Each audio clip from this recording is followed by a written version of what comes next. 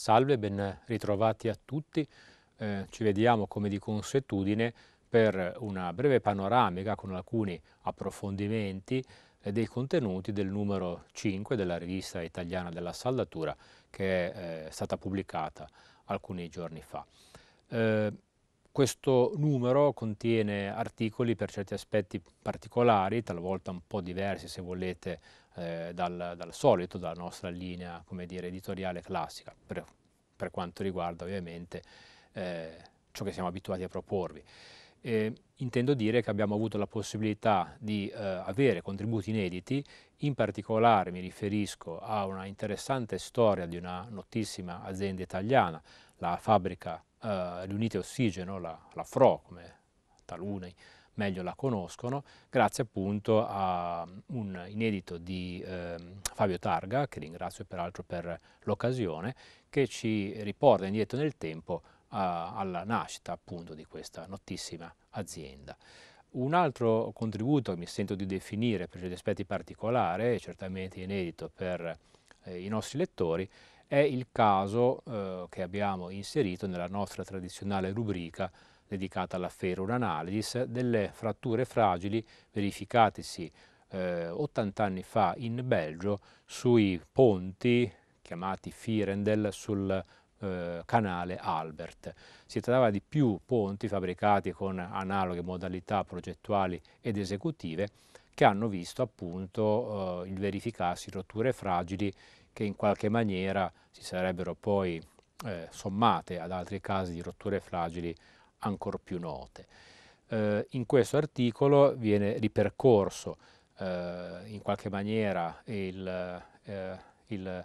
l'iter che queste fratture hanno seguito, purtroppo in assenza di evidenze documentali particolari, anche perché poi la distruzione avvenuta durante appunto, gli eventi bellici ha eliminato di fatto la disponibilità di testimonianze dirette, ma credo che sarà comunque un contributo interessante per tutti. Uh, due ulteriori articoli, per quanto molto diversi tra di loro, saranno invece disponibili e accomunati dal uh, comune denominatore del comportamento a fatica di strutture saldate. In un caso si parla di eh, comportamento a fatica di giunti saldati facenti parte eh, dell'impalcato di eh, ponti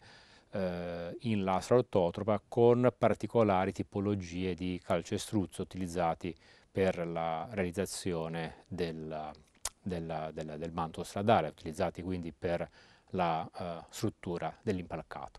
Nel secondo caso si parla invece di eh, attività sperimentali condotte per il miglioramento del comportamento a fatica nel campo navale eh, con l'utilizzo di specifici consumabili e il prolungamento di cordoni di saldatura eh, allo scopo di ottenere specifici stati locali di compressione. Non si tratta ovviamente di una soluzione nuova, ma la maniera con cui viene messa in atto è sicuramente interessante.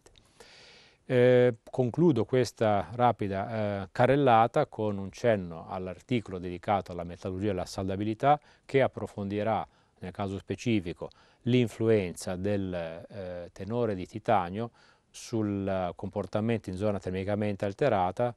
la parte granofine in particolare, di giunti saldati eh, in acciaio di elevata resistenza grado S700MC. E eh, per finire celebriamo in qualche maniera la ricorrenza del nostro settantesimo richiamando un articolo pubblicato nel 1950 che descrive,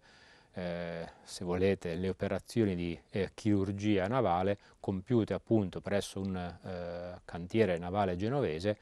eh, sullo scafo di una nave Liberty che a seguito delle modificazioni apportate fu ribattezzata eh, con ovvio significato, mi verrebbe da dire Super Liberty e con un nome di un tipico quartiere genovese che è il quartiere di Boccadasse.